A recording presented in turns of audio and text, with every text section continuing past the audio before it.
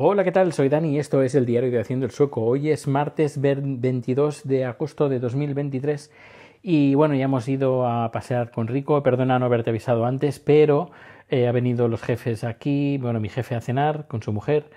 Hemos hecho paella, Paco, hemos hecho una de las latas que, que me recomendaste y que me trajiste, que hice pedido pues bueno, eh, bueno, he hecho una paella muy rica, además. He hecho paella para ocho, éramos cuatro y ha sobrado un poquito, que es la que me llevaré mañana para, para comer. Sí, paella para cenar. Estamos en Suecia, somos suecos. bueno, pues eh, hoy quería comentar un tema que relacionado con una noticia que me comentó, bueno, que nos comentó a todos en el grupo de Telegram de Haciendo el Sueco, eh, Rubén sobre una ah, noticia que emitió el gobierno sueco de advertencia de ataque terrorista en Suecia. Y parece ser, por lo que he estado leyendo, que una persona un poquito loca, un refugiado iraquí que vive en Dinamarca, vino aquí a Suecia, llamó a la policía pidiendo permiso para hacer una manifestación política enfrente de una mezquita de una mezquita aquí en Estocolmo y él se dispuso a quemar un Corán y bueno, se armó una fuera de, la, de esa mezquita, una, grande, pero la que más se ha armado ha sido en Bagdad, donde eh, una turba de enfurecidos eh, religiosos eh, pues quemaron la embajada de Suecia en Bagdad. No ha pasado nada, aparte de la quema, pero nadie ha salido herido, el embajador de Suecia pudo salir, pudo escapar sin, sin problema.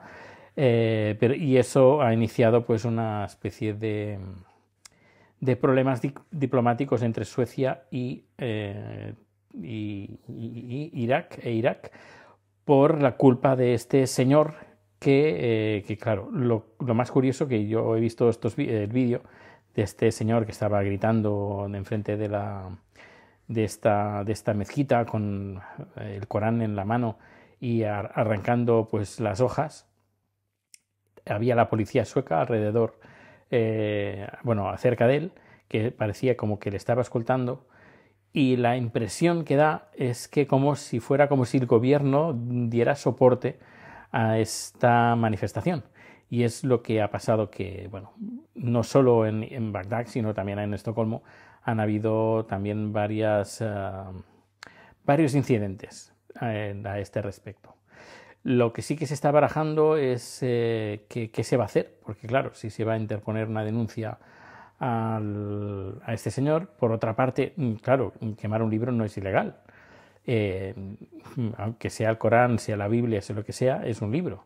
Y aquí, bueno, este, Suecia es un país laico, muy laico, y Mm, en teoría no es ilegal, pero claro, eh, acoger cierto tipo de manifestaciones, no sé, es bastante peliagudo en qué lado ponerse porque es un momento complicado. Ah, tú, no sé, es complicado, no sé qué harías tú, pero yo es complicado, eh, porque por una parte, si dices que sí, puedes tener, pues eso, que tengas que mandar un aviso a toda tu población de un ataque terrorista, y si dices que no, pues estás jugando al juego de los eh, eh, extremistas eh, religiosos. Por eso es complicado ponerse en un lado de la balanza. No sé, ¿qué harías tú? Me lo puedes comentar también en, digo, en las notas del programa. No me lo puedes comentar en Telegram escribiendo un tut o entrando en la página de haciendoelsoco.com ahí están todos los datos de contacto.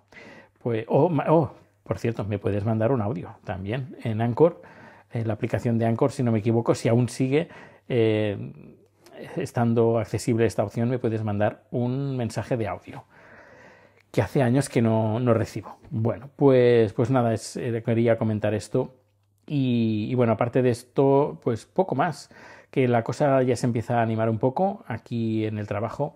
La cosa está un poquito más, em, está empezando a, a reactivarse. Estoy empezando ya pues a tener